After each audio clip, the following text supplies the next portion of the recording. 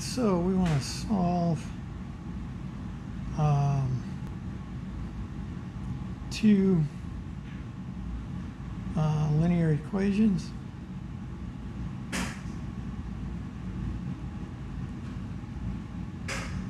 Okay, so um, again, we want to um, just kind of we'll we'll look at this algebraically, although I'm not really expecting you to uh, uh, do it algebraically. I, I think uh, Desmos will do it just fine, but but just to be complete. Um, now, if if they're in uh, model form, then uh, typically what we would see is something like y equal, you know, 3x plus 2, and then our, a second model y equal, um, oh, we'll say 4x minus uh, 1, and um, so suppose we have these two models, and we would like to know uh, when um, is there a point that satisfies both models, an x and a y value that works in both of these uh, models? Well, what you can do is, uh, if they're in this form, you could think of it as substitution.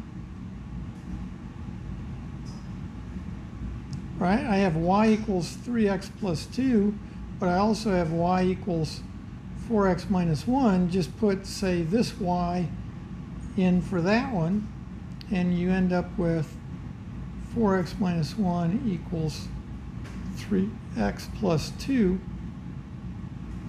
And, uh, excuse me.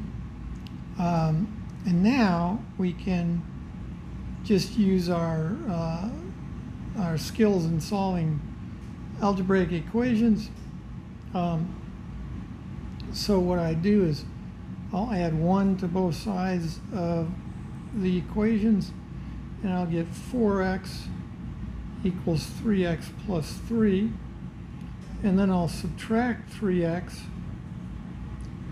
from both sides of the equation and get x equals 3. So there's my x value and then I can go back here and choose either one of these uh, to figure out my y value. And so y is uh, 3 times uh, 3 plus 2. All right, that's, I'm using this one.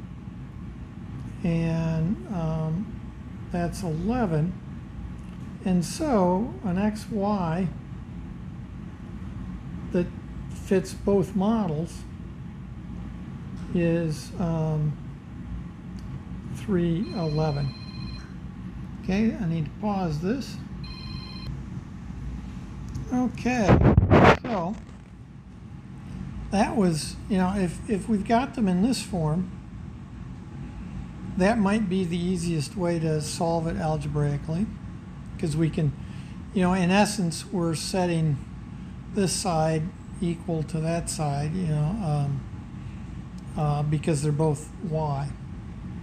Now, another possibility is that you may have set up your models more as constraints. So we had something like, um, we had an S1, I think the number of um, staff at location 1 plus S2 is equal to 10. So that was the constraint that we said, well, we need 10 staff. But then we also, I think, had a budget constraint, and um, uh, or no, that was 20. I think I had 20, so we'll leave it at 20. Um, and then, uh, and I don't remember the numbers for sure, but you know, we might have some sort of budget constraint, and it was, you know, something like 60 S1 uh, plus 40 S2 and uh, my total budget was um,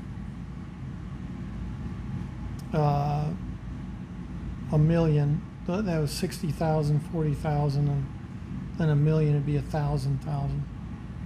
Okay, so you may have something like this, um, in which case another technique, let me get it so we can see all this. Another technique might be easier. So if I've got things set up like this, um, what I can do is uh, I can say multiply through one of the equations or both by some number on both sides.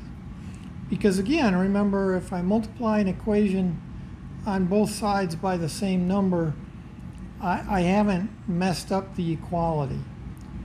Uh, and so what I might do is since I have 40s2 here, um, I'm going to multiply through this first equation by minus 40. So I'm going to take minus 40 times that S1 plus S2, but I'm going to do it on the other side as well, so minus 40 times 20, and that makes minus 40 S1 plus minus 40 S2 equals minus 800. Okay? Now, I'm going to rewrite that equation.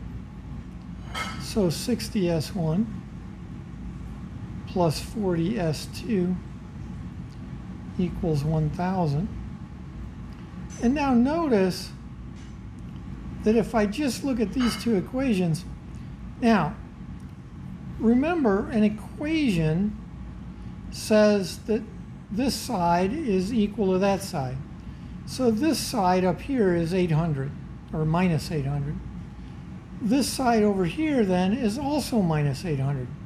It looks very funny for minus 800, but it's still the number minus 800. And I can add minus 800 to both sides of this equation. So that's what I do, but what it looks like is I take the 60S1 plus 40S2 equals 1,000, and I subtract 40S1, subtract 40S2, and subtract 800. And I'm subtracting the same amount from both sides. When I do that, what happens, see, is that disappears, and I get 20S1 is equal to 200. Now I can divide both sides by 20, and I get S1 equals 10. But then going back to any one of these equations, this one would be the easiest. If S1 is 10, that says 10 plus S2 is equal to 20. Subtract 10 from both sides, and I get S2 is equal to 10. So S1 is 10, S2 is 10.